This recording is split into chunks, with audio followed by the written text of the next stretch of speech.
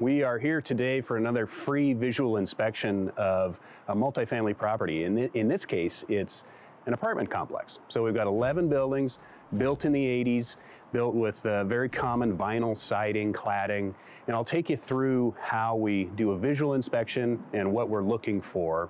So stay tuned, this will be fun. Welcome to the Building Doctor Show with Jens Johanson.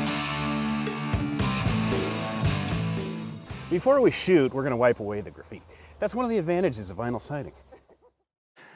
Okay, today we're looking at one of Alex's properties. Alex is the area maintenance manager of this of this property, and he has been kind enough to let us let us take a walk around his building and and and help him define some some maintenance issues that need to be addressed. You know, I think the, the vinyl siding has always been an issue. We've had Mhm. pieces disconnect. We've had pieces blow off in the wind. We've had kids kick the soccer balls and break pieces of it. Yep.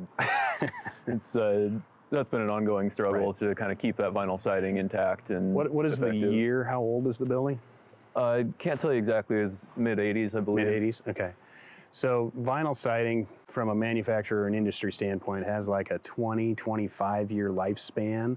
And so we're 35. And so it's it's fragile right now and it's just it just breaks down with UV damage and and uh, and that was kind of early 80s was kind of right when vinyl siding was coming out and so they've now gotten their recipes better and their their mixes better but uh, you know, that may be something you want to put on your replacement capital plan of putting on some fiber cement siding that's more durable and get another 30 years out of it.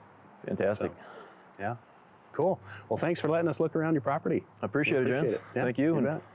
So this is a vinyl sided building with wood trim. So I'm going to take you around around it real quick for kind of high level, and then we're going to zoom in on what you can do with your vinyl siding building. You can tell it's vinyl siding because it it flexes and you can see the seams at the ends of the pieces. They kind of clap.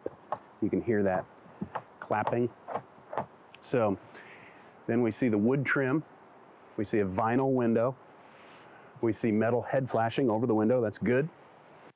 And we have some kind of, this is a vinyl J mold against the wood trim. One of the problems of vinyl siding is it'll come detached. The pieces interlock on the bottom, and so if the wind or something, they'll tend to detach there. And so I'll, I'll show you how easy it comes off. This is called a five-in-one paint scraper. You can actually peel the siding back. Here's how I nail on the top row, and then the bottom of it clips into this clip. And so the wind will blow and this this will kind of loosen up. This is one of the disadvantages of vinyl siding, if you will, because it kind of blows around. But now we can see our building paper and we can see the, the seam and maybe a maybe a tear in the nail. But it's it's kind of eh, I'm not real excited about it. I can see the gyp sheathing underneath it. So that's like drywall. But this isn't an invasive inspection, so I'm not going to tear it open. But you can see rusty nail heads. Here's a here's a non-rusted one. But there's evidence of water kind of flowing through this system. You can snap it back together by taking your tool and getting right back under it. It's plastic and it sheds water, but a lot of water gets around it and can get through it. From your pieces that come open to kind of wide corners, you can see water just more flows through it. So many people think that your siding is your weather resistant barrier, but actually that building paper or Tyvek is your building's raincoat. So the water deflects off this, but obviously with vinyl it can get through and around and it designed to hit that paper, then drain out.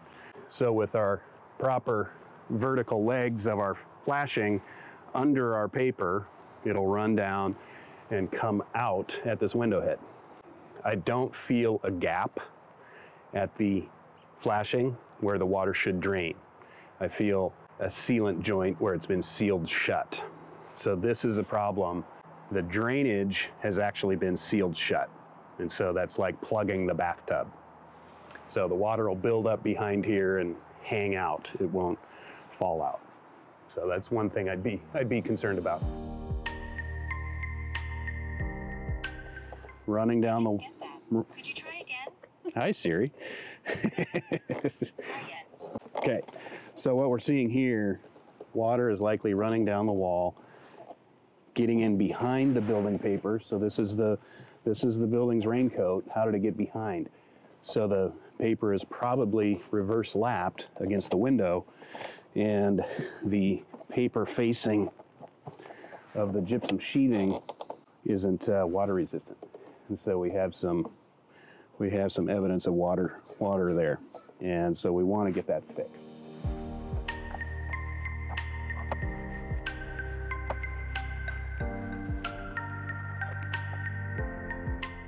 So at this area where the siding has come off, it's at the floor line between the first and second floors. You can see the dryer vent or bath fan vent in that floor line. At your floor line, you're going to have settlement because your rim joists are running this way and your wall studs are running this way.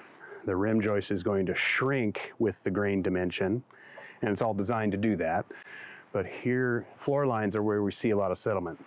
So when I have a clipped siding piece that shrinks, that clip comes loose. And so we'll see a- lot more siding come popping off at these clips. So it's a good place to, you know, just inspect. I have torn building paper and I have water staining on it. And so this is directly under a window, but I can see water damage under here just by doing that much of a that much of a look see now. We can get maintenance to tighten that up and see why we have water damage under it. That's how fast it is to look at a vinyl siding building. Real easy for you to do. Little simple tool find a loose piece of siding peel it back see what's going on underneath it. We've seen buildings without building paper. Um, and so you can quickly check. If you don't have a raincoat you're going to get wet. If the raincoat has holes in it you're going to get wet even the three little pigs didn't build their house out of paper, right? We know that paper and water don't get along. And so that's the problem with paper faced gypsum sheathing that was really prevalent 70s to 90s, early 90s.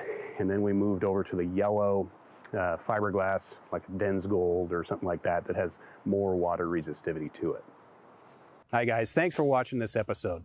We hope you learned something. Our goal is to teach you how to do it yourself and inspect your own buildings.